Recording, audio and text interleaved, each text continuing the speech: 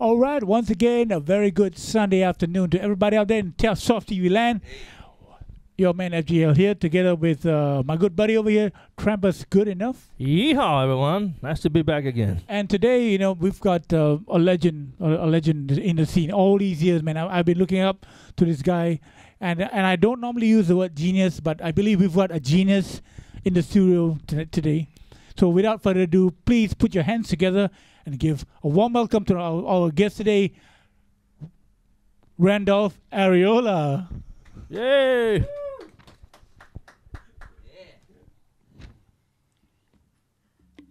This one's called Crashing Down.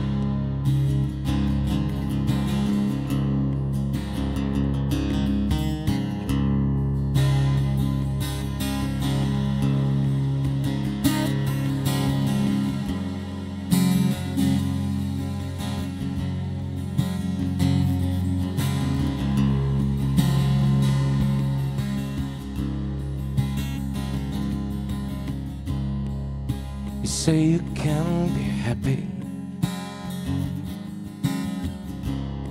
You're so tired of being sad. And all these years of give and take, all you lost or made, you never really got a chance. And you hold on tightly don't understand why.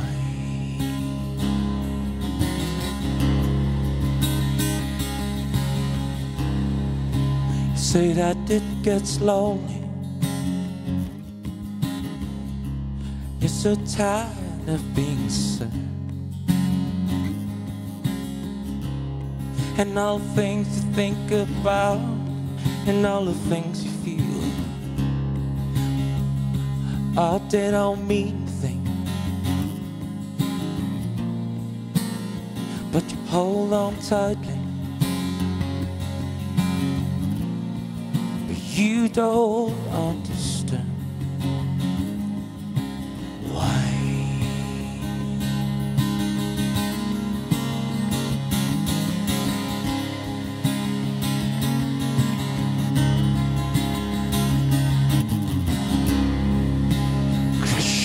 on me.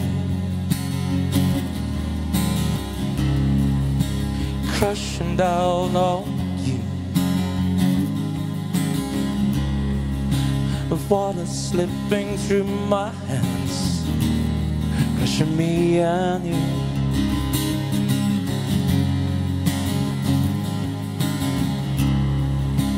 Crushing down on me. How it's crashing down on you.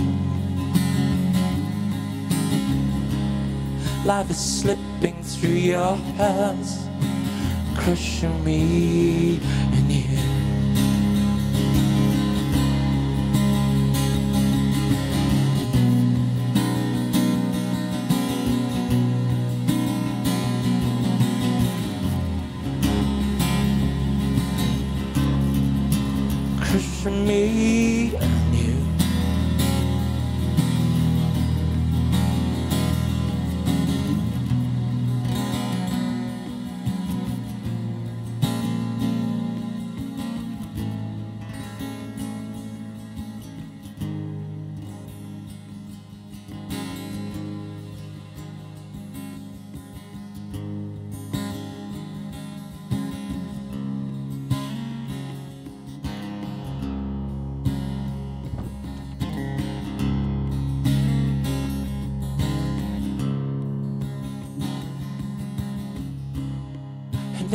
say it's crazy.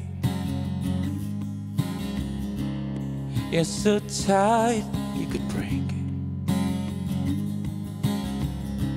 All this confusion of good and bad and the rights from wrongs just makes you want to look away. But we hold on tightly. don't understand. Just hold on tightly. You may understand.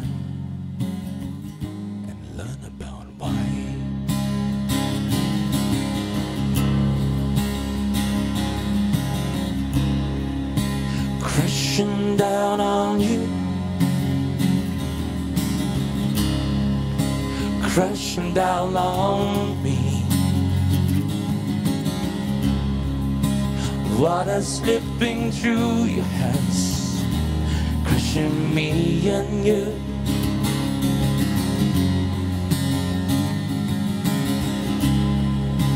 Crushing down on me. Oh, it's crushing down on you. Reality slipping from your hand, truth will crush me and you.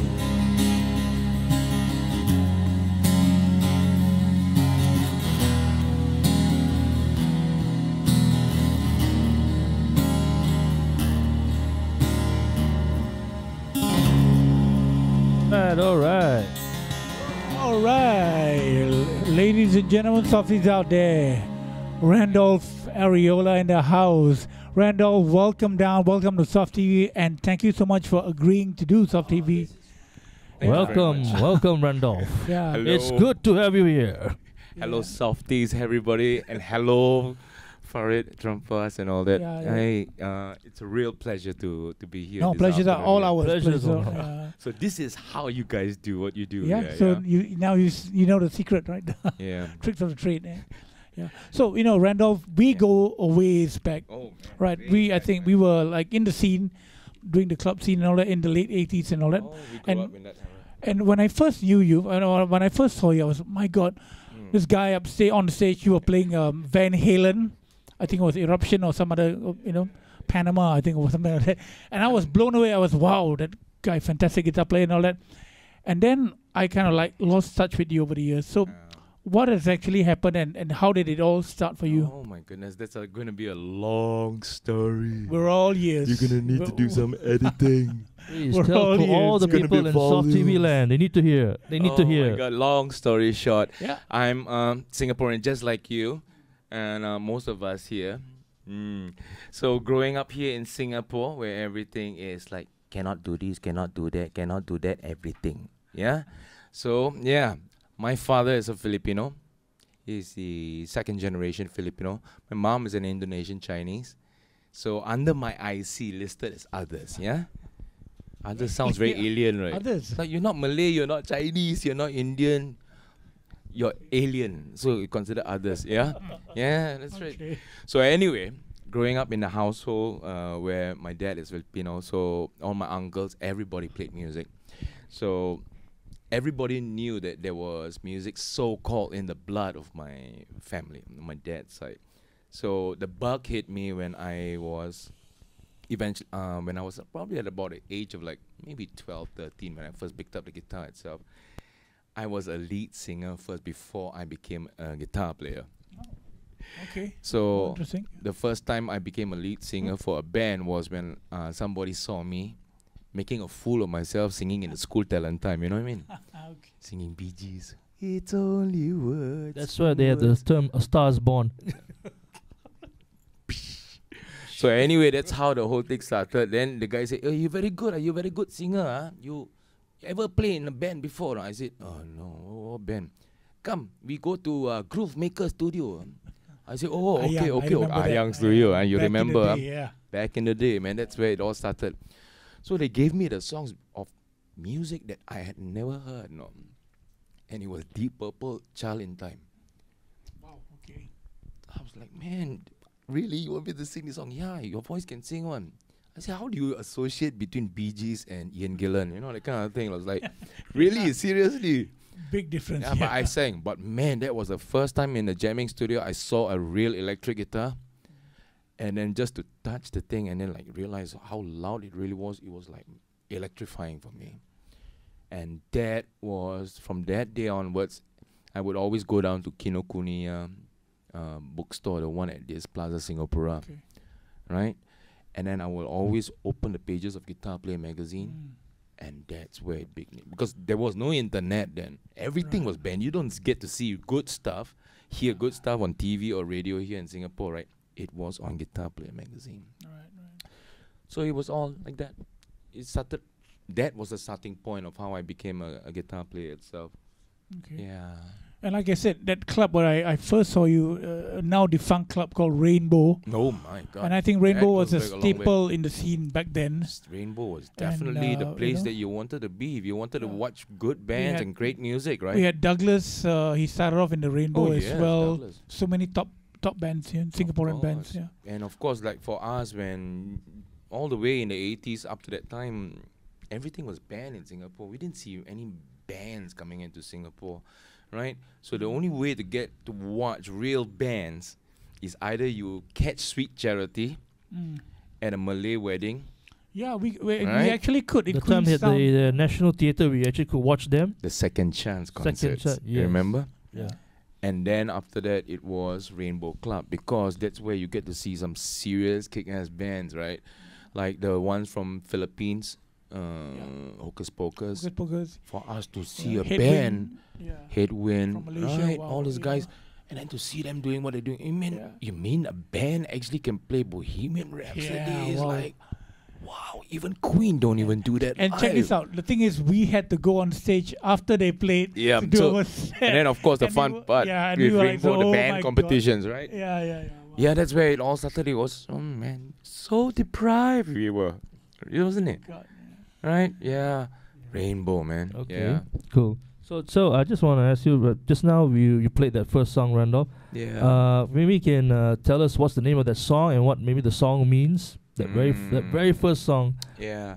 Uh, that song that I opened with um, was a song that I wrote actually inspired by the year 2004, the tsunami event. And uh, the song was called Crashing Down. And um, that song was inspired by several things going on in 2004 for me. 2004 was also the year that I got married. And uh, 2004, shortly, uh, just two days before the actual tsunami, while I was actually on a honeymoon. Well, there was only one honeymoon anyway. My dad passed away. Okay. Yeah.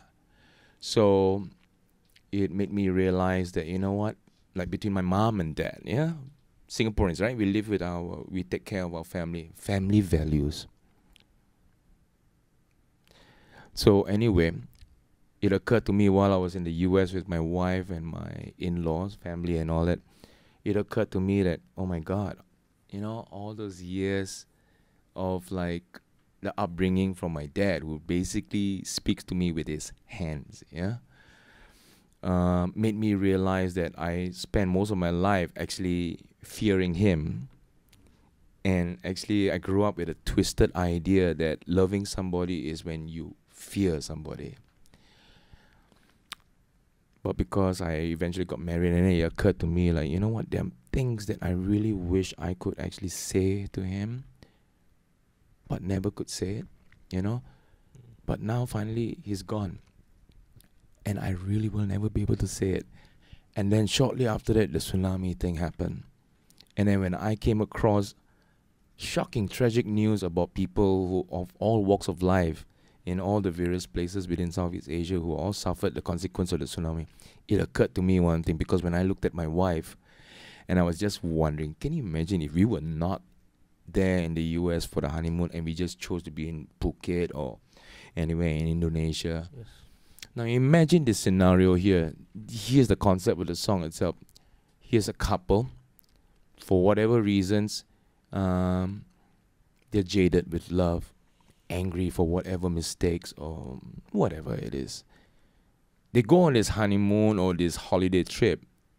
They're sipping the pina coladas there by the beach. Yeah but they're not talking to each other and they're actually harboring a lot of uh, grief and anger and they just cannot bring up themselves individually to tell to each other i'm sorry i'm sorry forgive me and they just sit there sipping the pina colada on the su- the beach and then the tsunami just comes in and wipes it It all wipes away. out.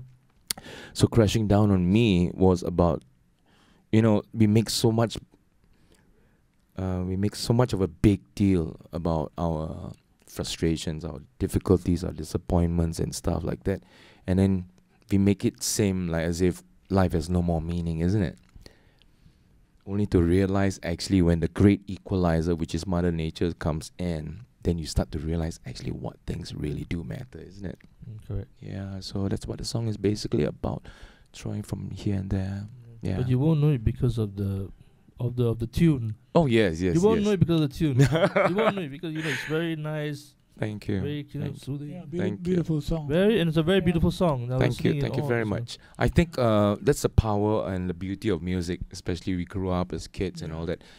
How many times you've always come across where like the song, the sound of the, the the music itself is like maybe uplifting and very happy and you know, but then when you read the lyrics, yeah, then you realize how actually Yeah. bitter and morbid sometimes it is. Um, just like for example when Bruce Springsteen came out, born in the USA, man, it's such a song. Yeah. like a thematic of song. Only then when you read the lyrics itself, It then you realize, a, critic on, on on his own country. yeah, Yeah. you know, went off to a It was a foreign very, land, uh, very angry song Ah, written by, by gun in my hand to shit the yellow man. I was like, oh, man, this is not a happy set of lyrics, isn't it? Like, a, then you realize the beauty and the complexity, um, you know, within music itself.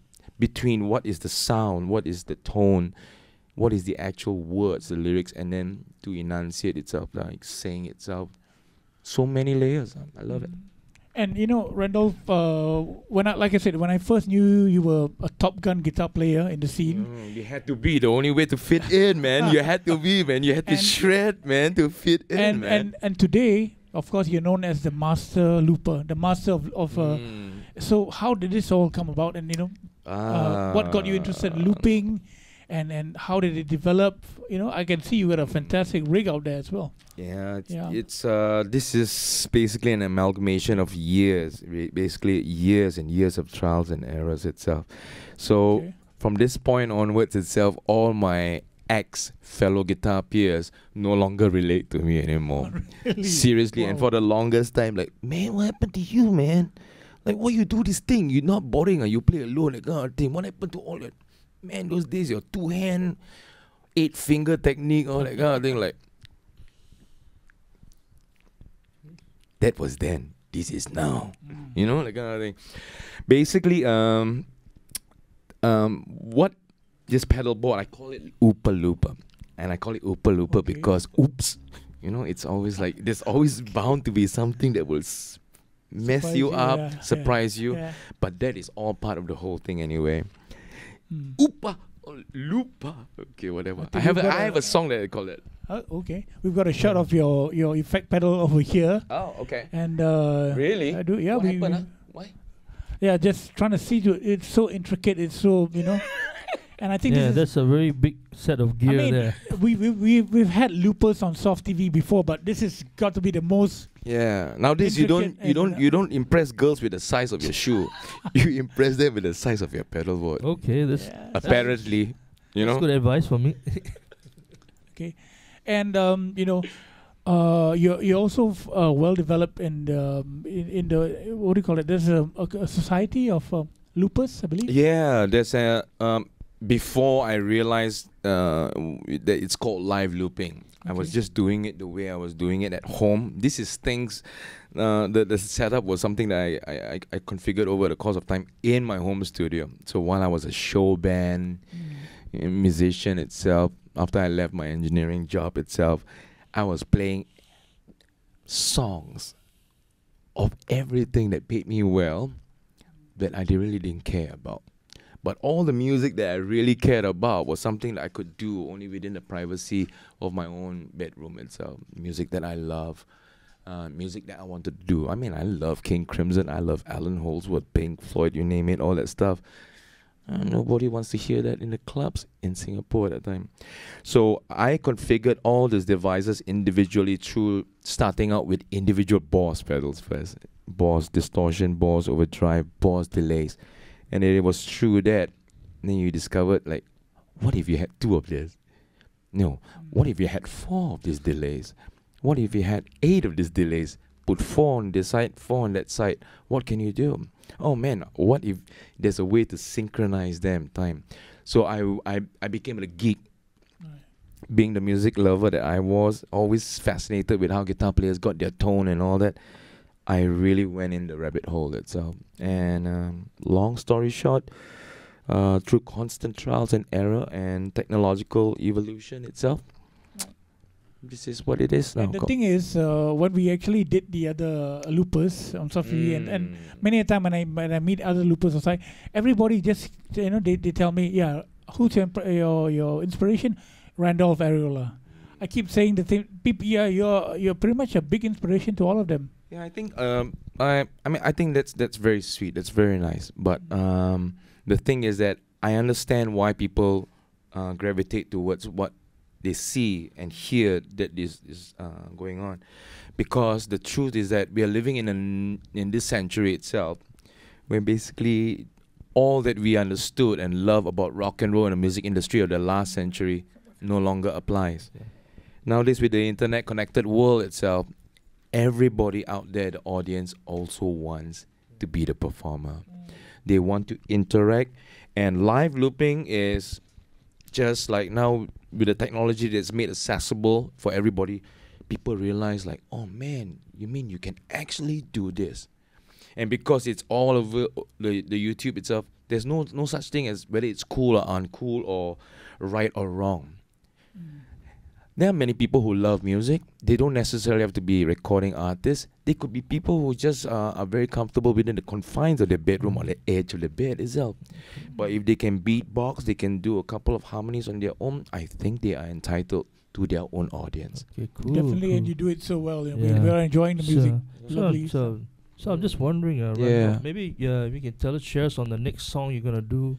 Your Yeah, let's see. Um, this next song. Is that- it? Um, oh, what do I have in mind? gotta Yeah. take it away and Uh, yeah, I've got a couple of songs that I was uh, planning. It depends on what I feel.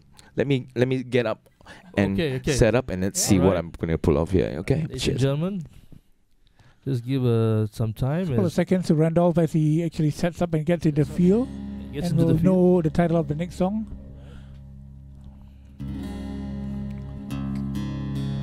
And the That's great right. And you're listening to the great, the legendary Randolf Arriola this afternoon on the Soft TV. master looper, and some say the Master Looper. the king of looping. And we'll later touch on uh, other aspects of Randolf uh, when Mm. as we come along, Yes. as he Yeah, a gets uh, ready for his set. Okay, carry as we can.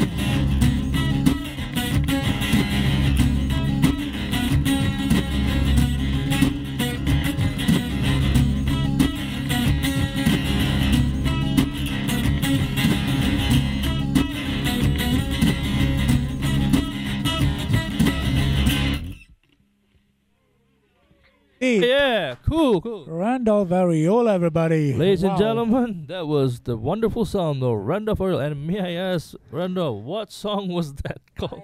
I have no idea. I hope you enjoyed it though. Ladies and gentlemen, that is a very, I, I believe that's an um, impromptu song, a very first on Soft TV. Okay, I guess uh, because uh, I, I think this was something that came out earlier this morning when I was doing the. Hold on. Okay.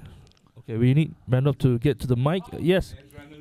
How are you feeling? Oh, Did you enjoy I it? I enjoyed Wow. that second song. Really? It is Sure? really, really. You're not Let lying, me, huh? let, let me use my favorite uh, phrase, blown away. Blown- Wow. Oh, yeah, yeah, yeah. come you, on, you know, come You guys probably couldn't see us on off Mm. camera. We were, you know. Very We will nice. groove it, yeah. We were Wow. Excellent stuff. grooving and moving. Very I'm nice. bumping my head. This is the kind of patrons that I usually meet in the pubs and clubs that I play. Because the next one, they're gonna ask me, Can you play the famous jazz guitar song? Huh? Yeah. Oh, you're very good. Uh. You're very good. You can play, you can sing. Uh, one man. Uh. Very cost effective. Mm, Singapore love you.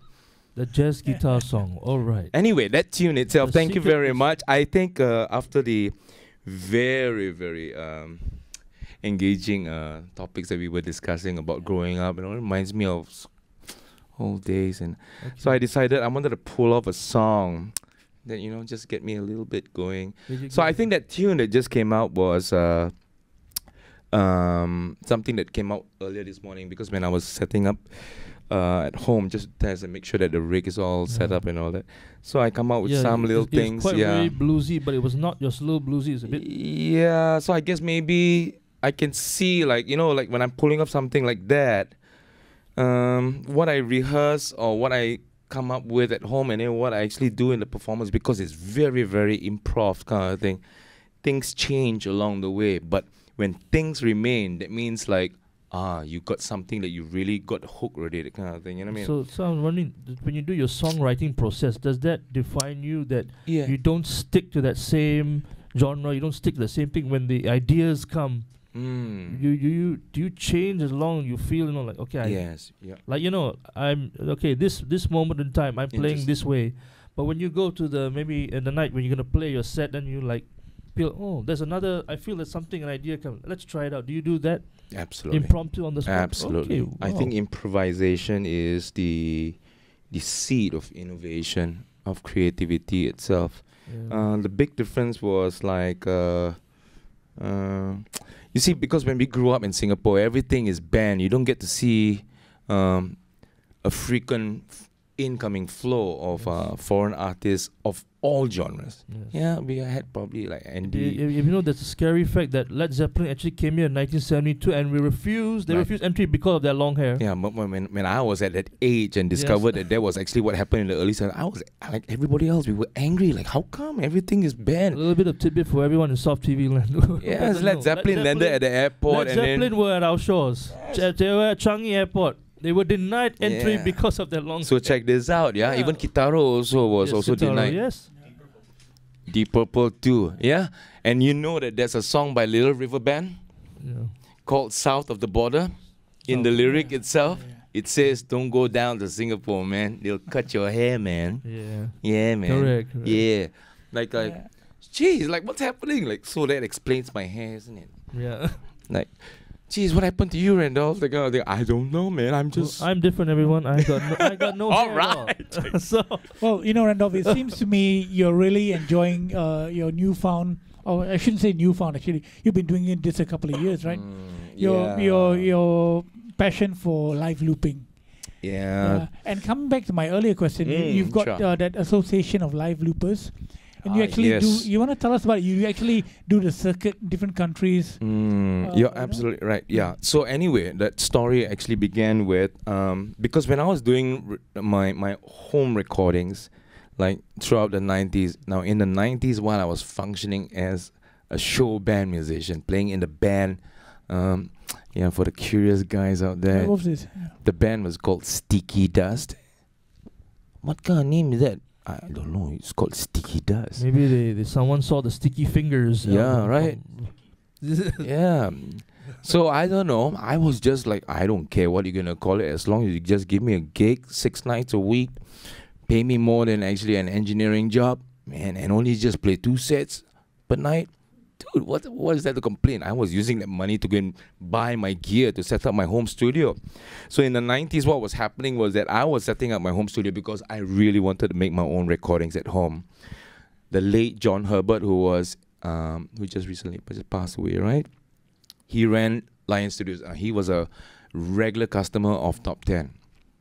So my keyboard player used uh, used to work in Swee Lee. Told me, mm-hmm. Okay. Randolf, if you like all this recording stuff, right, I introduce you to this friend of mine. He's one of our regular customers at Swee Lee itself. So I met John Herbert. So John Herbert told me, say, what do you do in the afternoons? Man, you only just come to work only at 10 p.m. onwards, that kind of thing. So I went to his studio. He, he brought me into this room, which I have never been in an actual recording studio at that time. He asked me to sit at the back of the sofa itself, and he was facing his mixing desk with his monitor speakers. They had big, nice speakers built in the wall. So he was asking me, you just sit down and just do your reading. Here's some technical manuals of the um, this, that, that, or Studer and all that. And I, and I'm such a geek. I love all these technical manuals because like, oh man, oh wow, shit. Is what's that? What's this? Oh, lexicon. Oh wow, what's this? That's the 2290. Oh, that's the TC electronic. Wow, what's that? And what's this? That that's the eventide. That's the what's that? What does that do? See, so I was sitting at the sofa with all the manuals, and John was I did not realize he was doing mastering. So anyway, he was listening to what actually turned out to be four hours of listening to this thing that- which was Buddhist Buddhist chant music. So after a while, he turned around, he stopped the music. Then when he stopped, he said, "Did you hear that?" I said, "Hear what?" Then he played back the track. and Ding. Ooh. Ding. Then Did you hear that? Yeah, just no. It, I said, "What is that?" He said, "It's phase cancellation, man." I said, "What is that? what? What is that?" Let me let me show you. A real thing sounds like this. So you right, ding. Ooh. So phase cancellation sounds like this. Ding. Ooh. Hmm. I said, I, I, I. Okay, you got to do your homework. So, it was because of John Herbert. Um, he helped me and guided me how to set up my home recording setup. I had my ADATs and stuff, and because of that, word went around all the indie bands in the 90s, including yourself and all that. Y'all were doing your five C's and all that. So everybody from um, Nigel Hogan of the Padres, the uh, Daniel Sassoon was with Livonia, Patrick Chng, even Leslie Low. I was doing for folks all the time, man. And I was like, yeah, well, I'm working for them and I enjoy doing this, you know, that kind of thing, I was also discovering things for myself. And then when I started to set up my rig, which is not dependent on the computer itself, I started to do my own recordings. And that was when MySpace came out. Mm. Sound was it? Sound click or whatever. So when the clips went on the internet itself there were folks not just listening from singapore. There were people from around the world. That's the wonders of uh, the internet. So one day this dude uh, this american guy contacted me said like man that's a that's a crazy piece that you just did. And i called it nebula because uh, i don't know it just sounds like just using my voice going through echoes and stuff like that I recorded this track and it sounded like some kind of abstract um, soundtrack whatsoever. And I called it Nebula. And he said, How did you do what you do? I said, Well, I just use a cheap microphone and I fed through all my guitar effects and I make the damn thing loop and feedback all year. He said, Great. So you can do this live. I said, Yeah, it was done live. So he said, Welcome aboard. What you're doing is live looping. I said, What is that? You know? So that's the first time you actually That was the first time. you heard the, the actually the term live looping. Live looping. Okay. Then I came to understand live looping. Then he introduced me to his community, which was an international gathering, which was largely made up of all Europeans, um, the Americans, and some of the first Asians that I came across who were doing this, the Japanese. So that was when, already coming to 2005, Rick Walker, the founder of the longest running live loop festival itself, he calls it the Y2K Live International Live Looping Festival. He invited me, he said, you know what? Come over, we will give you an audience and a show and get to meet other musicians. And that was how I got to meet everybody. Wow. Amazing, So I, amazing. ca- I can imagine, you know, because being a musician myself, you know, you Mm, get a different yeah. feeling, a different buzz playing Yeah. with a band. But you know, doing it alone by Mm, yourself out there mm, facing an mm, audience, you know, with you, just you and your your equipment, it must have been a totally different buzz, Yeah. totally yeah. different, uh, you know.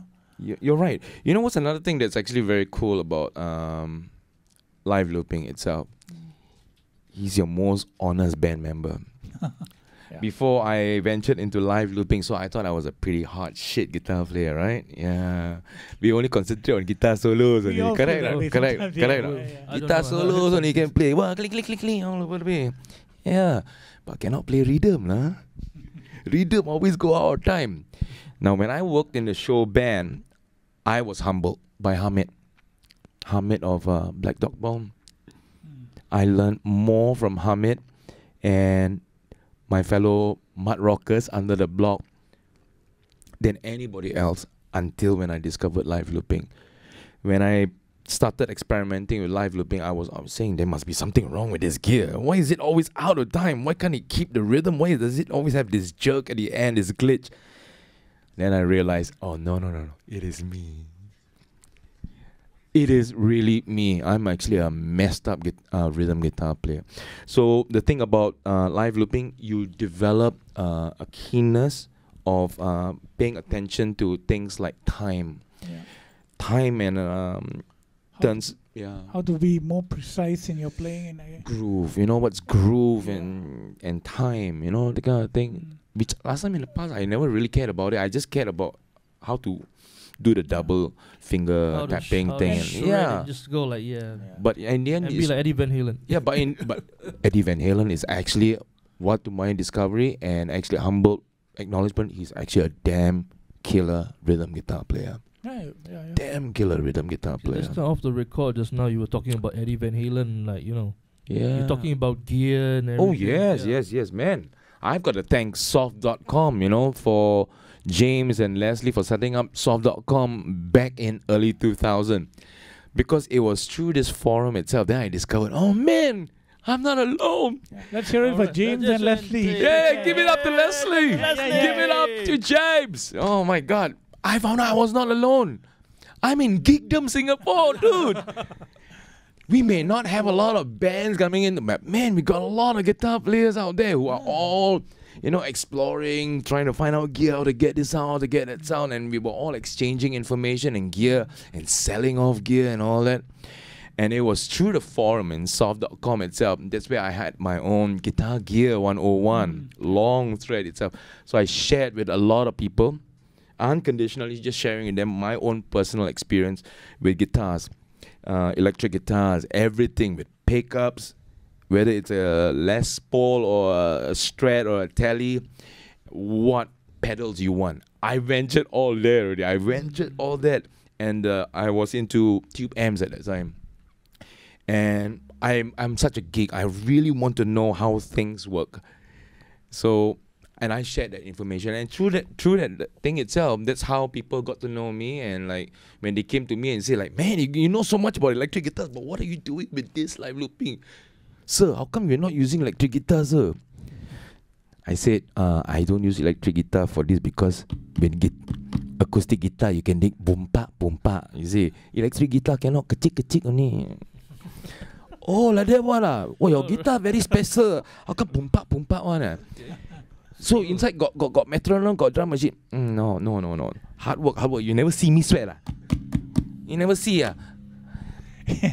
oh, and, but and, and, and you know, Randolf, testament to your virtuoseness and your abilities, uh, you've now uh, you're being endorsed now by TC Helicon yeah, t- and uh, uh, Eventide. Am, am I mm, correct? Uh, TC Helicon, TC Electronic, Eventide. mm, They were the ones that corrected me. wow. Say it's not that's- Eventide, it's Eventide. Eventide, oh okay. right, okay, man, okay. Right. So like yeah, all these gears and stuff. These are things like when you when, when I was in my teens, early twenties, and I was reading all these guitar play magazines, sound on sound or whatever. the kind- Mm. Every recording engineer making behind all these great albums, everything, everything from pop to rock to country music, everybody mentioned these names. It was always TC Electronic, Lexicon, Eventide. I say, what is that? What is that? How come David Bowie's producer says he uses the Eventide to get the drum sound? And he uses that same Eventide also for Bowie's voice. What exactly are they doing? What exactly does Pink Floyd do when they use these same devices? I didn't know. I was so hungry and desperate to find out and have access to all these tools. I, I didn't stop. I just kept on and on and on.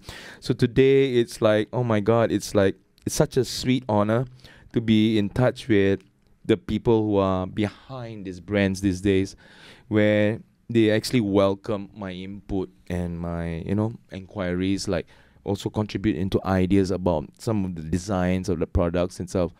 This is I'm in geekdom, international Wow. now. All right. I'm enjoying myself. I'm really enjoying It's myself. cool, Yeah. Which actually uh, leads to my next question. You know, yeah, sure. the whole geekdom thing of you know of uh, messing with electronics, with Mm, guitars, whatnot, mm. versus the actual live performance Ah. where you actually interact face to face, one one you know speaking yourself just alone, Yes. one man against the audience. yeah. Which do you prefer? Oh, you know what? At the end of the day, I I have uh, equal love for being the geek within the privacy of his room in the recording studio.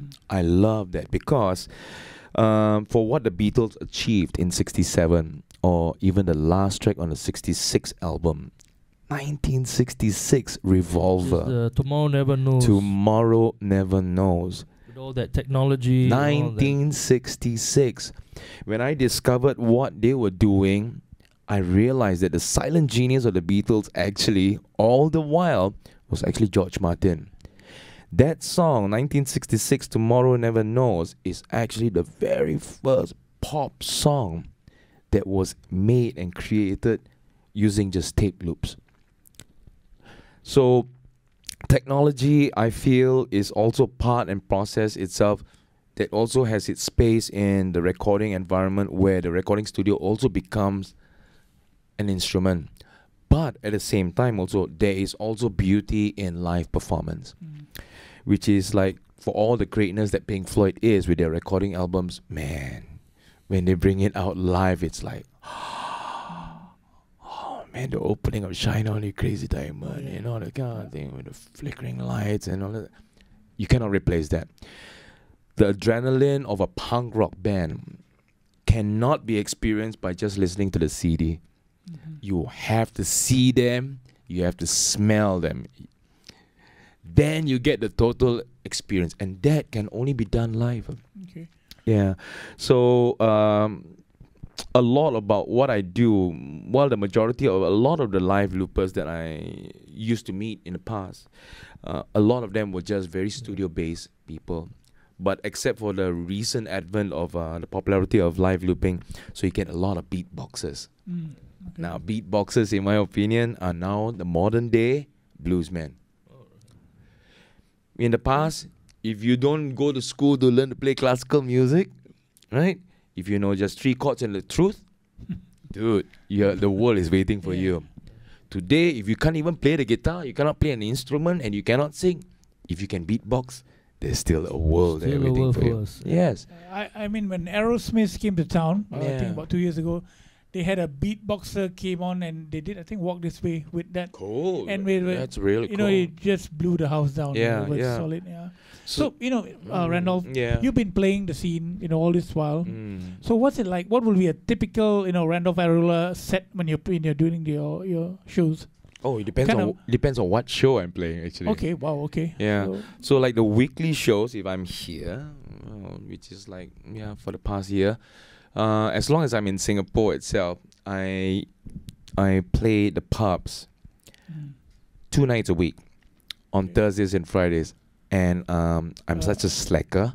and What I do is Wala Wala now, is it? yeah, what I do is I'm I'm such a slacker itself because I do it with a purpose because I really need it. I squeeze four days of work in Mhm. two nights. So basically, I play like the happy hour at Hive, which is the new outlet. Hive by Hive. Wala Wala. You gotta go there, you know. So I play there on Thursdays, happy hour. Then after that, from there, lug oopa looper all into the luggage, roll my trolley, hop into a cab, and then get into Dempsey Hill Harry's. I play there from 10 to closing. And then Friday, I will play at Wala, happy hour. And then after that, when I finish at 9, pack up everything, lug it to Harry's at Dempsey Hill, and then that's my weekly thing. So mm-hmm. I prefer to keep my Thurs my my Saturdays off so that in case like the special art shows or something, or sometimes even the travel. So what I play really depends on context. Okay. So like in a pub environment, which is predominantly going to be expectedly entertainment, yeah, I I, I, I I give them something of everything. So like I can play them your favorite pop song today or whatever, but I'll insist, but without pushing it down their throats. Of course, I do it my own way. So I'll give something of everything, lah. You know that kind of thing. So when you make them happy, uh, yeah, some people cannot pronounce Dan Fogelberg. They say Dan Foxbed. Yeah, the reader of the band, uh, very nice sentimental song. Uh, you know, ah, you, know, you should know. And if you know that song, right, you should also know a very popular song, one, and very good one. You can sing, you can play guitar. You you should know this famous jazz guitar song. Hotel California, yeah. Cam is actually Hotel California. Hotel. California, the melody very roughly on it. And im- I imagine now with all your equipment, you can actually do Hotel California, yeah. guitar solo and oh, all. Oh that yes, yes. Solo. Oh man, let's get back to the story, man. Dude, when I was first employed by Harry's, uh, whom I've been uh, the organization that I've been working with actually since 2004. So it's like man, years already, almost 13 years now. First time I played in the hotel, um, not hotel. uh, What was that? The transit lounge there, right? At the airport, two things happened. I decided that because it's indoor and it's air conditioned, right? Man, it's perfect time to give up smoking. Yeah. So I gave up smoking before, just two weeks before the gig itself. So I was arming myself with the pharmacist prescribed uh, Nicorette, yeah, chewing gum, which is five milligrams, isn't it? Now normal cigarette, uh, you all gave up smoking, right? Long time ago. Wow, Long good for ago. you. Good, good, good. I hope to be like you soon, yeah. But let me tell you my story, yeah. So one cigarette, you look properly, is 0.7 milligrams, no, nicotine. But man, a Nicorette is five milligrams, no, dude. So each time you take a chewing gum, right, man, dude, oh happy day. Half the day you don't feel like smoking, dude. Five milligrams is high. Oh, high like a kite. But when I went to the Harry's Lounge there, I was blown away because that turned out to be the the only smokers bar in Singapore. and I only had my acoustic guitar. I played bossa nova. Yeah, because it's airport lounge. Nobody wants crazy shit, right? The kind of thing. So I just just doing my bossa nova kind of thing. Once in a while, throw in a couple of Neil Young. Yeah, yeah, yeah, kind of thing. And then you come across people. Can you play Hotel California? can you play Hotel California? Can, can. Okay, okay, I play for you. Mm. I play, play, play. Finish. The guy down there at the bar. Brother, next time you play the guitar solo, um, you should learn to play the song, ah, because it's good for your career. Good for your ah. Then people hire you. Then at least ah. Okay. Mm, all right, all right. then next week I'm thinking, you know what? I don't have to do Hotel California because they are all transit passengers or anyway. I won't see this guy again, right? yeah. Right? yeah. Yeah. And then the following week, you kena another guy coming in from where? Phuket. With a straw hat. Hey, brother, can you play Hotel California? Mm, You know what, uh, Randolf? Yeah. It just occurred to me there's another step you can take your career into is that um, musician slash comedian. Oh my God. I think that would be a perfect, uh, you know. Musician, a musician, a stand-up comedian. That's Oh my god, I'll tell you how it started. eh? I'll tell you how it all started. Yeah. Whether you want to edit this or not, I'll tell you how I became this amateur comedian.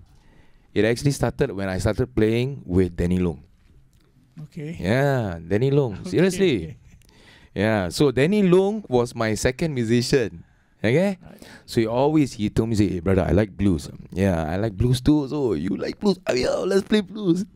So the thing is that I'm the singer, I'm the guitarist, I'm the, the, the lead guitarist. I have to remember the lyrics. I have to sing in pitch all the time. But he's always backing me up. Yeah? So I remind you, uh, if you want to edit this, yeah, feel free to do so. But I'm letting it all out. So he told me, say, hey bro, play some blues, ah, some blues." Okay, okay, okay, okay, okay. So when I played the blues, then he said, "Hey," then he'll be behind me. No, hey, let me solo, let me solo. I play the bloody chords. I'm playing, you know. I, Bebop Lulu, she's my baby. He said, hey, bro, solo, solo. Okay, okay. So when time to solo, he will solo. Do, do, do, do, do, do, all over the place, that kind of thing. Then I realized, okay, he is a guitar player and he solos the way he does because he plays the guitar, he doesn't sing. So the next song, he'll tell me, hey, bro, bro, I want to play harmonica solo. Okay, this time, you know what I did? So I said, you can blow the harmonica and you play solo till the cows come home, brother. So I went on and on. I played the chords and I, I moved away from the microphone. You know what I mean? Um, I kept on doing, I kept on, went through like five rounds of 12 bar blues, man. And by the time when I look around, Danny Loong's face was red like a lobster. So this is all part and parcel of the whole process that we go through, that we learn. So Danny learned, I learned also. So, so when Danny was asking me, like uh, for example, like say, bro, what would you recommend uh, for me to expand my my my repertoire, that kind of thing? I said, said, uh, you play the guitar actually pretty well, really. You can blow the harp, like, but I say you need to get into the context of playing in a band. So he said, what would you recommend? I said, you should listen to this guy who's, in my opinion, a great blues man. He said, who? I said, Sting. He said, really? A Sting into blues? I said, yeah. He bought the entire catalog after that. Lah. Thank you very much, Danny Loong. Seriously, thank you very much. All right. Uh, so that was a great story, Yeah, but, wonderful but yeah, anecdotes, yeah. yeah. But I think uh, the thing, well, I think everybody's hungry for another No, great yeah, Randolf Arriola okay, live okay. looping song. Okay, let's see what, what we can pull off this one, what okay? we can pull off. yeah. Ladies and gentlemen, this is the first uh, edition. This is the July edition of SOFT TV, That's right. The per- the performance the performer will uh, once again surprise us with a cool song. That's right. We're going to give him just a couple of seconds to set up. Give him a In the meantime, uh, for those of you who want to catch Randolf, you can catch him, of course, at uh, in at Dempsey Road. Is it? uh, Dempsey Road. and Also, sorry, Dempsey Dempsey Hill. and also at Wala Wala. Uh, And also, there's another place called the Hive. That's for the happy hours. You can catch him there. And once again, we have no idea what the next song is going to be. We're going to go with the with the feel, go with the flow, as uh, Randolf sets up. And this is, I hope, and uh, usual, as like the second song, he will surprise you. Like he surprises and we'll be grooving and moving this song as well.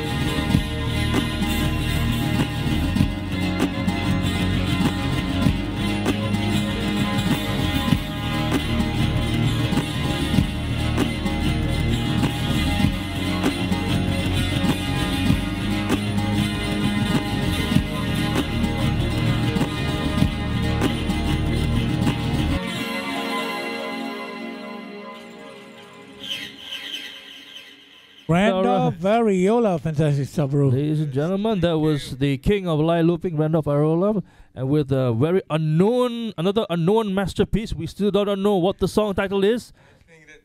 Ten dollars for the for the guests, please. okay. All right. So maybe uh, Randolf, you can maybe So can I- tell us. Yeah, I, I, I- I realized that halfway I was doing this song. You- Actually, You, basically, you like, got, you got a title.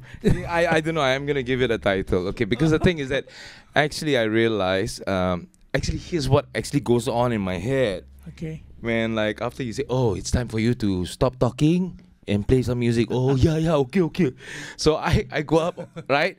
So when the moment I step up, so as a performer, Farid, you should know this, yeah. You experience this adrenaline rush. Yeah, yeah. It's a combination of excitement, but it's also nervous energy. And that nervous energy will actually dictate what you're actually gonna do. Even though you done Hotel California five times in one Oh, night, yeah, right? Five times a night. Trust me on this. I bet you each of the five iterations that you did was somewhat a bit different. The last one maybe The last one was solely out.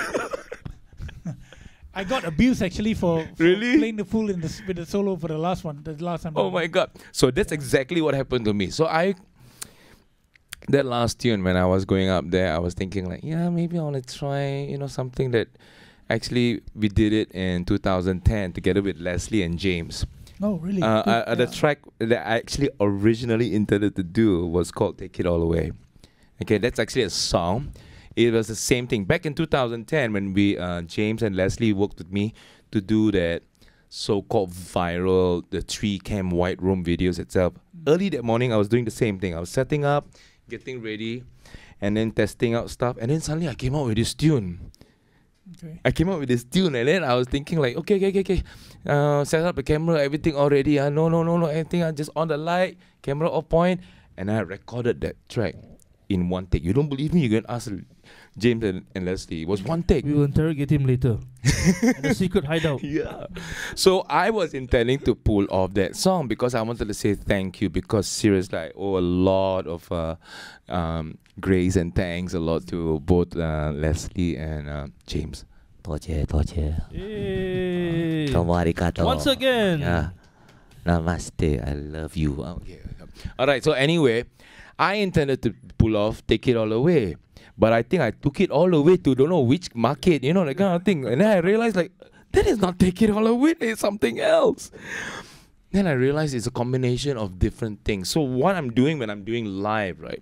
It's a combination of like with intention and then with already preempted control of what to be able to execute my whims anytime I want to pull off anything. But then also you're subject to the what the fuck. The. WTF kind of thing because anything can happen. That's why I call it oopa oop oop oop oop oops. Loopa please. Oops. You know? Yeah, so That means anything can happen. Anything, Anything can happen. Spontaneous can come onto the spot. That idea. But that's also at the same time how something is born out of that uh, circumstantial mistakes also. accidental- yeah. So a lot of times like the songs that I developed uh, in my home studio was like a combination between things that I can strum just like everybody else kind of thing. But then I also wonder, just like when you write songs, you notice when you strum it slow and then when you take it to a different beat, Yeah. a different genre style, the whole song takes on a different feel, isn't it? That is the same thing I get that with this setup itself. I can take any song. In fact, I can also do that to any pop song also. So when you discover these things, then it sparks on even a wider creativity itself. lah. That's basically what I'm doing. Yeah, Yeah. great. Because this is the first time really seeing you, you know, doing your thing. You know, improvising. Mm. Because I remember when David Bowie. Oh man, yeah, yeah, we were there. The Yeah, Bowie. when, yeah, when, when, when, when Oh. David Bowie passed away, we had the, they had the tribute at Artistry gig. So I saw you singing. By the way, this man does a very good version of Life on Mars. oh, I was man, blown away. I was like, ah. you guys did Ziggy Stardust, Uh, man. I did Ziggy Stardust. Cool, and you really got. you know, both you and Farid the trumpets. Okay, I was like, Farid- Farid- that was Farid fun. did Let's Dance. Oh man, Yeah, let's you. dance. Most people don't realize how cool that bloody song is, you know. You, Yeah. The effects of Let's Dance, that echo thing. Yep. that Nile Rodgers Really, thing, yeah. I discovered that was actually done on guitar with the eventide delays. Mm, all right. I was like, short re- delay. Yeah. like yeah, but pan left right lah, you know, like Mm. make you think like as if it's some kind of remix or synthesizer. Then I realized it was actually eventide. Ooh. Eventide. Even time. So, to me, uh, you know, I heard elements of the sitar. In that last song. Mm, Yeah. So that was that's my uh, take on, on the whole thing, and uh, yeah. Yeah. So yeah, you want to talk about what I what are the various components that get to do what I do? You Yeah, want- will definitely, be Yeah, interested? you can tell us yeah. what. What's, what's in that gearbox, man? All right. So like uh, Right. yeah, feel free. So actually, Spice. wow, I'm I'm Get like- close. All right, let's start off with the uh, Yeah. TC Helicon. Yeah, so b- what what does that does that do? Oops. Okay, I've got the power slightly off. Okay, basically the the thing that just now when I was using the to achieve the sound, the just careful look. Right. Okay, hold on. okay, wait, because this thing needs to be on. Right. Okay. Okay. Yeah. Okay, so in order to achieve the the sound like what he said sounded like Mm. almost sitar-ish, right? Okay. Was actually done with the Eventide Right. H9 itself. Right. So basically, so this is without any effect on. The moment I step this on, like like a chorus effect. Yeah. uh, yeah. But actually, what it does is uh, because the way uh, 12-string guitars work is they have doubling of strings, which are Doubling, an yeah, octave yeah, up, isn't it? Mm, mm. So because they're doubled, they they also start to introduce a very unique form of like chorusing, but not exactly chorusing. Right. Right. Right. So like uh um with this is the Eventide H9. This is like a dream come true because the technology that is inside this pedal itself, uh, which is similar to what you can see here on the time factor, the pitch factor, and the space. All these devices previously were only available in studio rack mount two inch racks. And it cost like eight thousand euros. Yeah, and and with eight thousand euros, you only had stereo, stereo in, stereo out. So the thing, I guess, like when once the '90s were over itself, then of course with the music industry downhill nosedive. Nobody buys studio equipment anymore. Nobody records in those big studios anymore. Everything in it's is stompbox size now. That's right. So then I guess that's how these guys um decided that you know what, guys, I think more people. I mean, during my time when we were growing up, 80s, 90s, where got people got pedal board, right? Not We only lucky to have pedal board was something we only associate with the pros only, that kind of thing, right? Yep. So once the watch out the cable, ah, the cable, yeah. So once the the the companies decided to do this, then my dreams came true. Then it's like, oh man, to get that sound, that Robert Fripp sound, to get that David Gilmour sound, to get that, you know, to get that um that edge sound, to get that Brian Eno sound, to get that Daniel Lanois sound, to get that David Bowie sound. Then I realized when I started having access to all these tools, and then the geek in me, I'll spend endless hours going through all the parameters itself. As you can see, like for example, the eventide time factor, this is actually an echo device. Okay. But you notice like we, we grew up with Boss pedals, which Yeah. is like this, yeah? Yeah. They only had most, maybe at, at most, they only had four knobs. Right. But the echo, look at that on the eventide. Wow. This is like 10 knobs itself. There's a lot more going on. So, like, when you start exploring these things, then you start realizing how people actually crafted the sounds Mm. for the all the iconic albums that we grew up with, that kind of stuff. So that's the H9. That's the Eventide stuff. Right. Um, this is also made by Eventide. It's my preamp. I actually use the XLR jack for my Godin guitar. Mm. I don't use the traditional quarter inch. For added yeah. clarity. uh, Um, yeah, clarity is one signal. thing, but also at the same time also minimize noise mm. Okay. because uh, the quarter inch uh, is usually only just two pins. Uh, there's lead and uh, negative or whatever that kind of thing, but it doesn't have the the the ground shielding thing going on. So it just basically I'm very very particular about trying to achieve as much signal with little noise. So that's why I use that. Um, this is yeah that, that you had something that sounded like keyboards Mm. coming in. yeah okay I was ah trying okay to figure okay. out what that yeah, was. So yeah, okay. That sound is, I think, the reason why the video that uh, Leslie and James made with me back in 2010 and went on viral to like something like almost Million. almost a million mm, 1.6 million views since the time it was uh, published. The thing is that most people come to me and say like, "Hey, bro, how do you do it?" And I'm like, "Man, you must be damn like happening, right? Like, uh, you know, everybody all talk about you, see you, they know you all." Wow, over a million view all over the world. You travel here, travel there, or just play play guitar, ting tang, ting tang, like that. Also, people like. The reality is, here's something I share upfront with you. Mm, I think at latest is like one point almost one point six million. More than fifty percent of the people who contact me, and I'm talking about people who contact me from all over the world, they always ask the same question. How do you get that sound? Okay. Now, that sound that everybody is asking for makes me realize I'm not alone. Everybody also heard that sound in all the records, but didn't know how that was done. They thought it was done on keyboards or anything, but it's not. Let me demonstrate to you how I achieved that sound, okay? Okay. Yeah. Alright, ladies and gentlemen, now we're gonna wait to see. Let Randolf uh, set up, and we get to see how he does his sound. Okay, so this is the raw guitar as it is. Can you see me? Can, can, can? Okay, um, You All right, so um, this is what the guitar sounds like raw as it is, yeah? This is my version of a 432 tuning of a dead cat tuning, anyway. Okay? So when I introduce this, which is the Yamaha Magicstomp, the same chord sounds like this. You can hear the trail there that is actually a combination of delays, which is echoes, and pitch shifting. So this allows you to still hear the the natural guitar, but blended in with a pseudo like strings in the background. So it's great for like when playing ballads.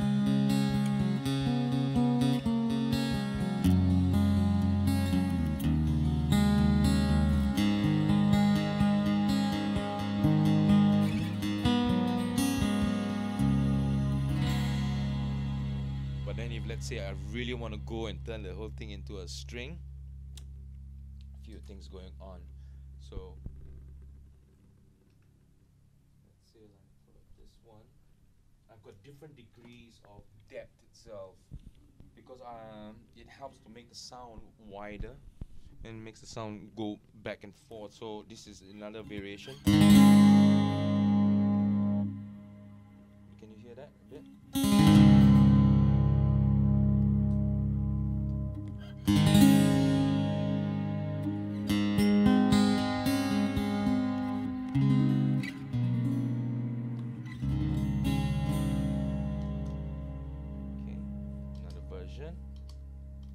Throw it all in.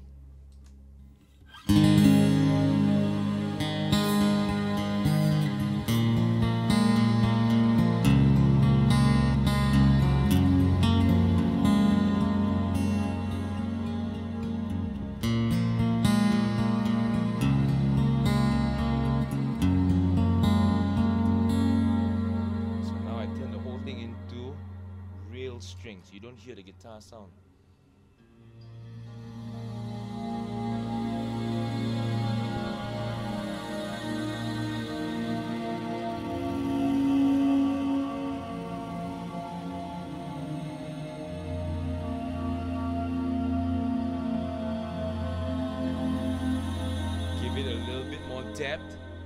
Throw in this guy and then you can get the lows.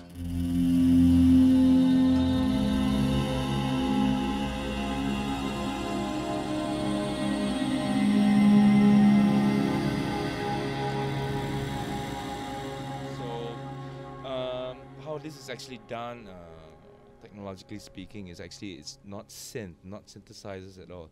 It's just taking the natural signal and just echoes and changing the pitch and stacking them up and balancing them. Then that's how you achieve the sound itself.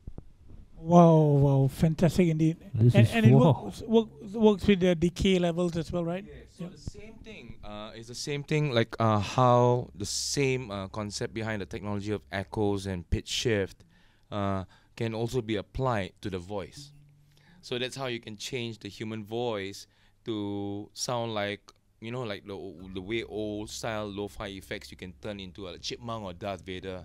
But now with what TC Helicon does with this Voice Live 3 Extreme, you can actually sing Bohemian Rhapsody on your own. Let, let, let's g- like, give us a demo of that. Just just a couple of bars. Yeah, yeah. Let me tune up. This is how Yeah, yeah. Okay.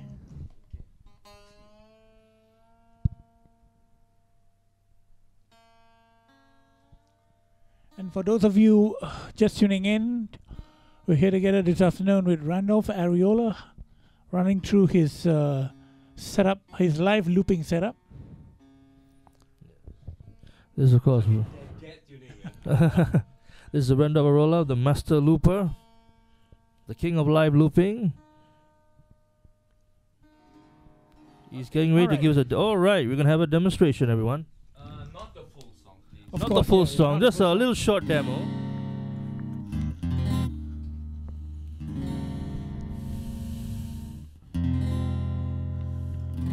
All right. Just.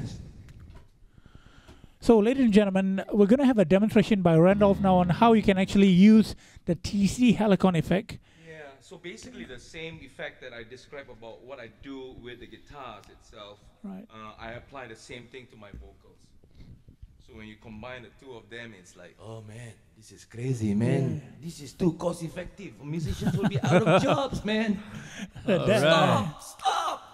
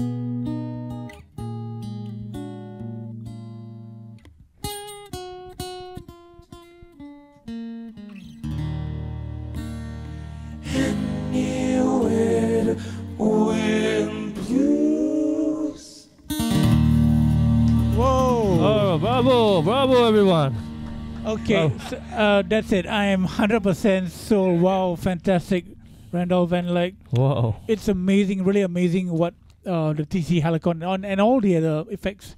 it's Can- can do. what creative people do in Yeah.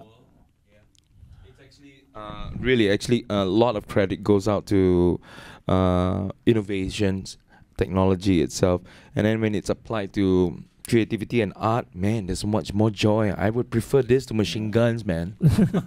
Don't you agree? Most Yeah. definitely, most definitely. If yeah. if we can afford to make these things and give it out to everybody around the world, everybody will just hey man, kick back and just make great music and share it with the world, man. Why don't we do that, man? You know? and of course, uh, we'd like to know more about your recordings that you've done of all, of all your originals, Mm, you know, your yeah. live loop and all that. Uh, can you share Yeah. with us? So um, the throughout the 80s into the 90s, because yeah, you know, in Singapore we we only had Pony Canyon, of course, the WEA and all that. But once we arrive in the era of the 90s itself, it was only just down to Pony Canyon, isn't it? Jimmy Wees. Yeah. Jimmy Wees and all that. But even, even that also folded. In the end, Correct. that also folded. But that also didn't last very long, wasn't it? Which is very unfortunate because that was very exciting. The scene itself was coming up.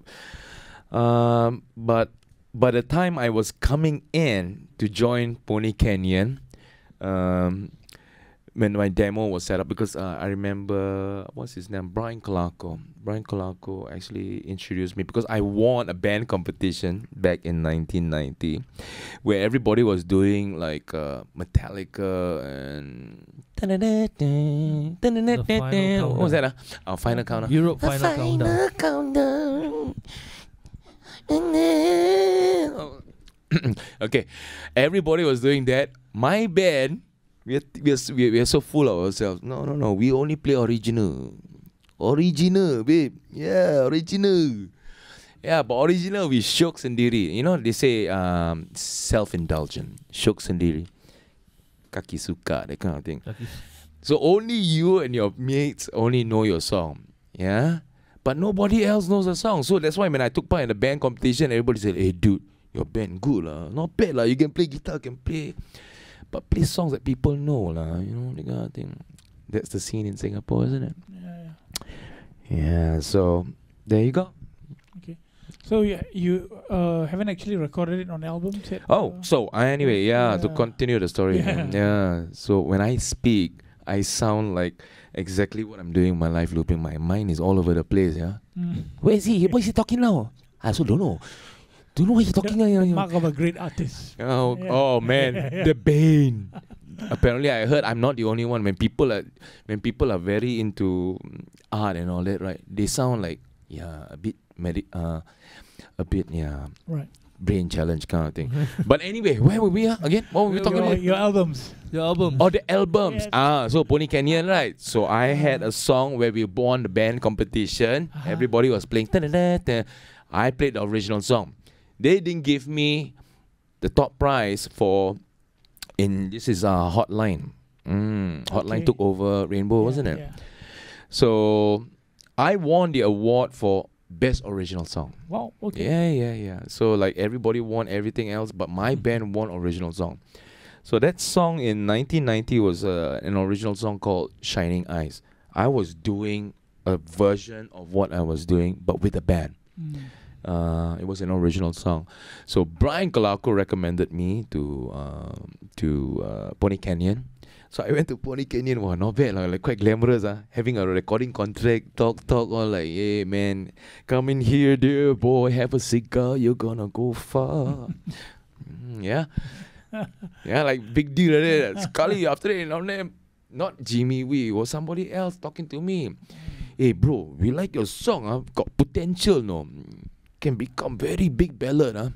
But But uh, you know what? Uh, right now, uh, world music very trendy, you know. so can we put a bit of kucing, put a bit of pipa, a bit of kompang? Huh? We can call a sitar player. I, we got a lot of this. and that's what happened to my song. Now I was like, so you know what? I realized I'm in no control at all. And I was thinking, do I really want to go there? bro, bro, I'm with you 100% because Did you go through that also? uh, you know the five Cs was quite big at the time, right? Mm, mm, And mm, uh, record companies I went to, you know, I'm not going to name any names. Uh, there were a couple, but I heard things like, "Hey, can you write another nine songs like the five Cs?" I'm like, well, Yeah. It's five C's, Yeah, So in dude. other words, the record company wanted to make it like a comedy album. like, Yeah. you know. uh, you know, how about doing a comedy album? And like, I said, no, I've got serious songs as well, and the five Cs is the five Cs. That's it, you know. Yeah. But I hear you, I, I feel you, you know. Yeah. Uh, you know, exa- so I know where you're coming Yeah, from. so you know what? The whole thing about oh man, I, if I tell you my life story itself is like I don't know where you're gonna stop me, man. Because when after the show band uh, scene stopped for me in '98, okay, when that stopped for me in '98, I decided to take like a sort of like a personal sabbatical. I decided to join HMV. Okay. Yeah, Oh. so I became a buyer. Hey, don't play play, ah. His master's voice. Oh, uh, eh, that is part of the the, the, the, the, the, the quiz, no? If you go for the, the, the interview. Okay. Yeah, so come. We give you the room, we give you the six page form. Then I realized, oh man, quiz, no, dude. Want to apply for job now, got quiz one. so anyway, then they're asking like, um, so uh, name the following, who's alive and who's dead, all that kind of thing, you know, that kind of thing. lah. Yeah. All right. dude, I passed everything lah. So I got the interview uh, done. He said, man, you you really know you, your music, you love your music, ah. But guess what? Um, we're already out of uh, spaces for pop and rock. We, we have it in jazz. Would you like to get into jazz department? Uh, I said, no, no, man, dude. Okay. Please, please, we need people like you. Okay, we went into the whole thing. But anyway, when I became a buyer in HMV itself, then I discovered another another facet of the music industry, so called the retail industry of recorded works itself. Mm. So all the five major companies and a lot of uh, small uh, wholesalers, I started to see and understand as a buyer for HMV how this business works. For example, okay, so I like King Crimson. I like. We all have our personal musician in fr- uh, favorites, of course. But then check this out. In the year that I joined HMV was when the soundtrack for Titanic came out. That would be 1998. That's, the- that's the correct year. Right? So anyway, I said I want to order like I told my boss, uh, I said I want to order 1000 copies of King Crimson's new album. My boss said no. Mate, just make it two copies, and if we sell that out, you can order another two copies. All right. In the meantime, negotiate with the label. We want twenty thousand copies of Titanic. I said, why? Don't ask. I'm your boss. oh, then I realized, oh shit. So everybody, Stuart D'Souza. You remember Stuart Yeah, yeah, D'Souza? he was with you. I- yeah, Nah, he Stuart was- D'Souza was with Universal. Stuart D'Souza was always sharing with me all the greatest new jazz albums itself. I said, dude, I want to order more copies. lah. Mm. He's asking me like, how many copies you want of this new album, this new jazz title? I said 100. No lah, dude, we don't have 100 lah. We only got 50 pieces only for the whole island. No, Okay. I said for the whole island, 50 copies. But bro, if you order Kenny G, ah, 10,000, ah, you order 10,000 for each can, ah, we can give you additional discount, no. Addi- additional discount for what? For your jazz album lah. then I realized, like, you know, the entire music industry is rigged, rigged to dictate public opinion and taste. So, in other words, it's no longer about music that you think is good because it is just good. It is because it's been conditioned to you. It's been. It's not. It's now. Cons- it's considered Yeah. business. Yeah, so then that was one aspect we didn't understand at all. So when we are music lovers and we want to be musicians itself, we don't understand the bigger picture of how this whole thing is because we never had an industry in Singapore other than of course selling CDs and cassettes and pirate tapes or whatever that kind of thing Yes, you growing were, up. earlier on off the record, you were talking about the music industry in Singapore. You know, like Yeah. we had. You, you, you told me. You told us that there was a scene, but we don't have an industry. we don't we never had we never had an We never had- industry. okay. we never had an industry. Yeah. what we have, the closest that we have is a scene. Now, every other major artist that you and I grew up with, listening to, and all, they come from where they come from, where before there was a scene, before there was an industry, there was a culture. Before blues music became a recorded piece, people were just playing there in the cotton fields, man. Country music was all over the place. The jazz bars were doing that all the jazz musicians that everybody puts them as iconic status, they were also bad ass guys, man. But that existed before the industry.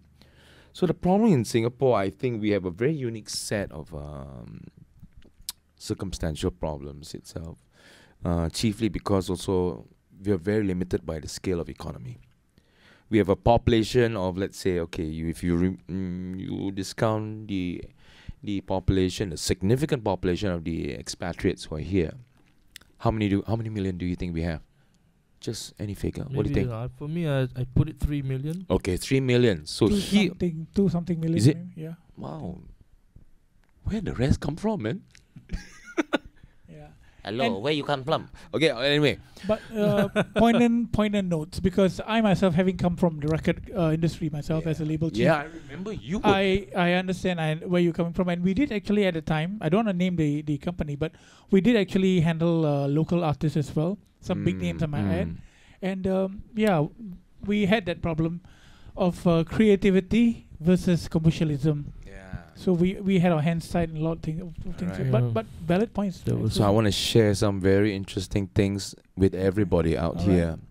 When I was a buyer for HMV, we always get this uh, monthly international HMV report. So check this out, lah. I was shocked, lah. My eyes open. Oh, I can see clearly now. Alright, There's something wrong. So check this out, yeah. Throughout all of Asia, right? Thailand, Malaysia, Indonesia, Hong Kong, Taiwan, even Japan. The domestic produced products that is consumed is in the region of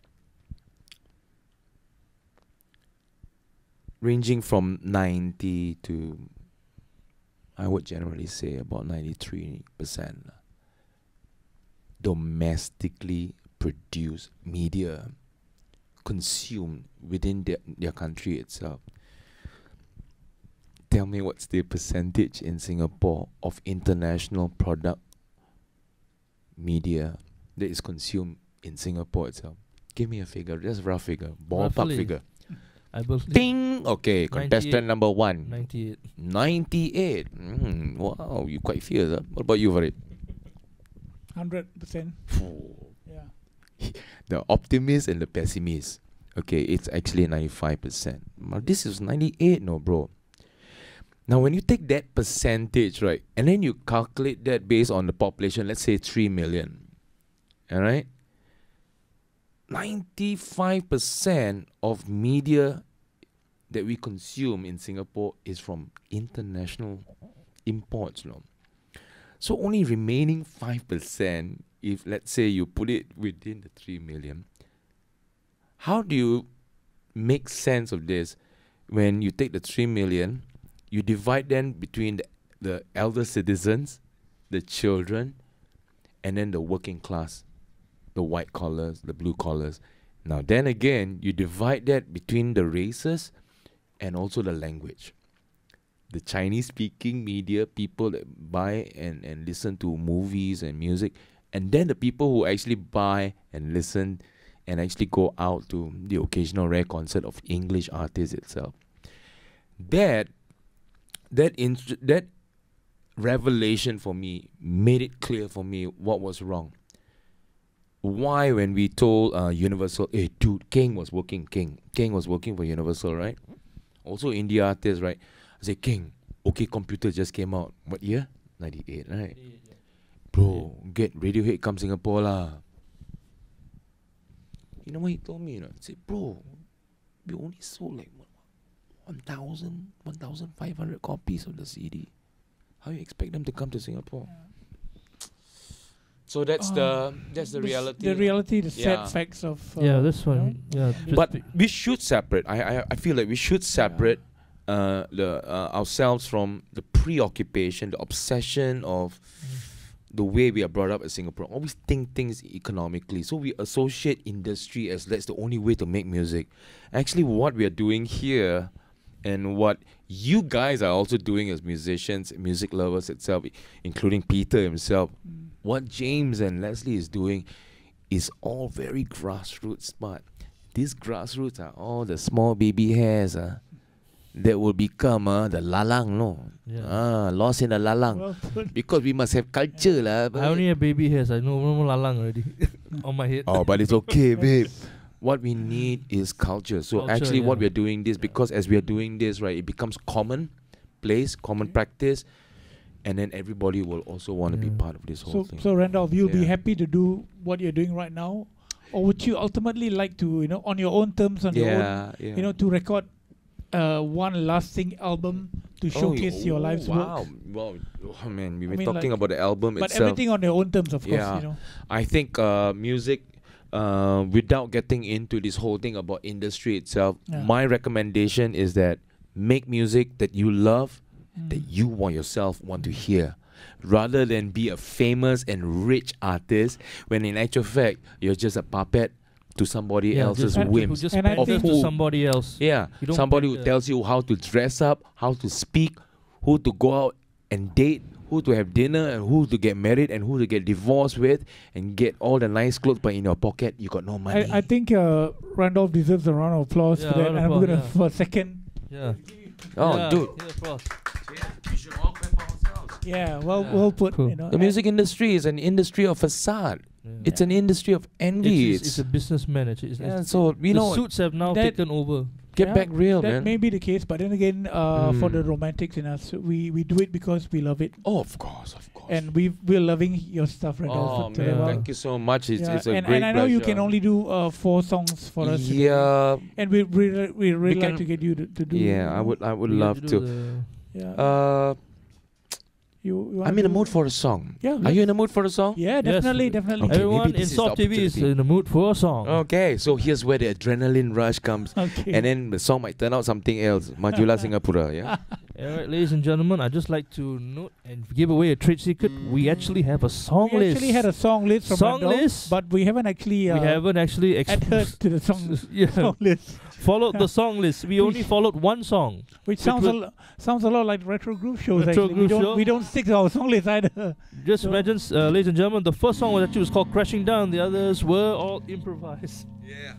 Uh, well, I gave it a title, didn't I? I Yeah. Did, did I share the title? The first one was what? Crash. Crashing down, crashing Right. down.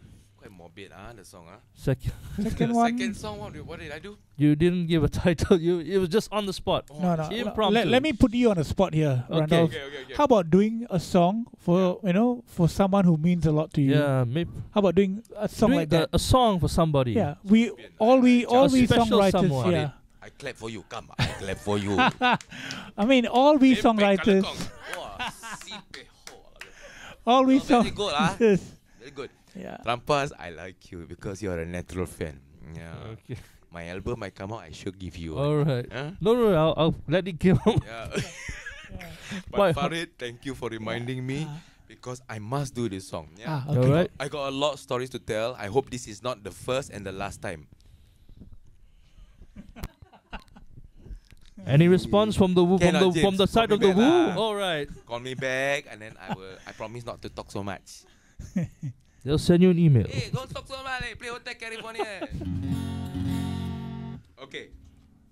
The reason I'm very thankful for this opportunity, and especially today here on Soft TV, every one of you softies, Okay. and also for Trumpers, and Alright. for Farid, James and Leslie, and of course Peter Hovlich, who just released his latest album, Megalomania. In the house, man. Peter Hoffish in the house. Ladies and gentlemen, Peter Hobbit is in the house. Yeah, Peter, how you, You doing, You can't man? see him, but you have a good one. Peter, give a give us a howl. Okay, anyway, the reason I'm very, very thankful is because I promised to do this for my one and only. Wow. Okay. All But right. Not, the- not the Kevin Matthews song, no. Okay. No, no, no, no.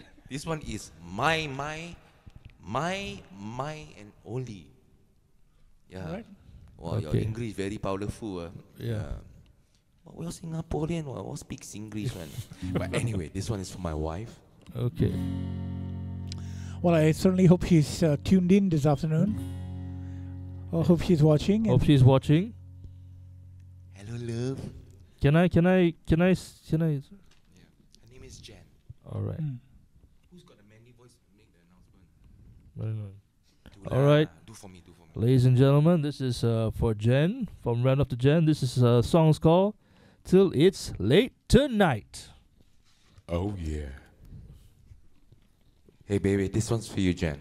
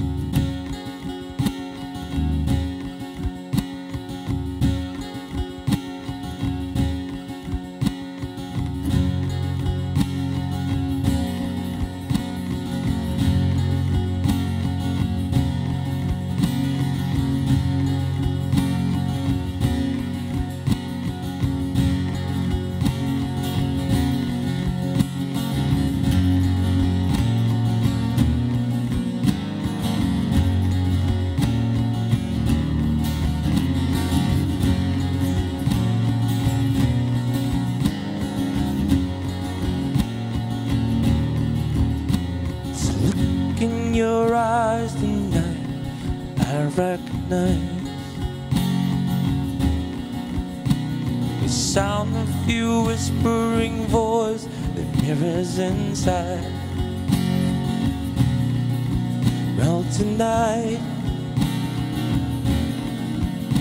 is young. Please don't take too long. Nobody else in this world but you tonight. Nobody else for me but you tonight. So dance, dance, dance with me tonight. Dance, dance, oh, dance with me tonight.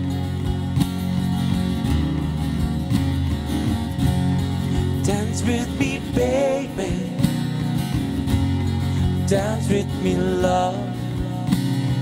Dance with me, baby, till it's late tonight. Through